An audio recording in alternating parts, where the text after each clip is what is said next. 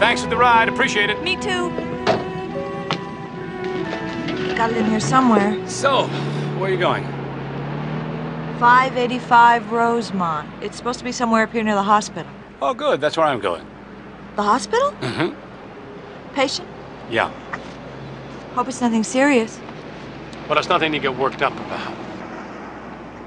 Hey, look, I'm sorry about the way I acted back there. Oh, come on. No, I, I've been kind of grumpy lately. Truce? Truce. Um, I'd give you the big one, but I'm eating for two. I understand. How does it feel? Believe me, it's no fun. Well, look at it this way. Look at all the things you have to look forward to. Sleepless nights, a lot of moist diapers. Hmm? Or worse. You know, when I was a little boy, I had a baby, sister. And even with all the problems, there were some moments that were so special. I'll never forget them. I guess that's why I sort of envy you. Well, that sounds nice. I don't know. But to bring up a kid alone. You have any kids? No. You ever been married? Yes. Used to be. Divorced. No.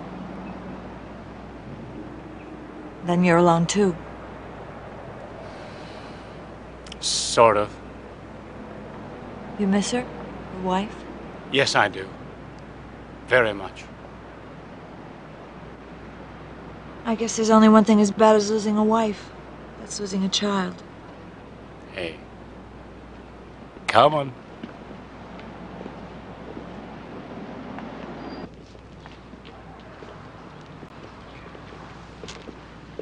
Five eighty-five.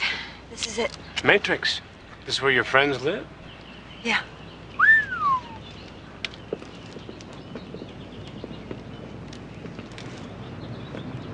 Yes? Who is it? Carrie Taylor? I called you last week. I know who you are. I'll buzz you in. Some friends. Hey, uh. You sure you're okay? Thanks for helping me out.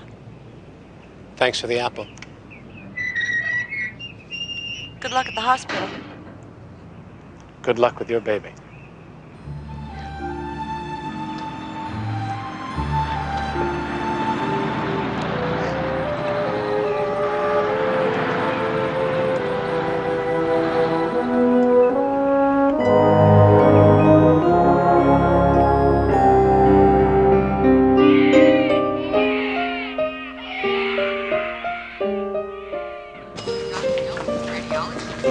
Oh, excuse me.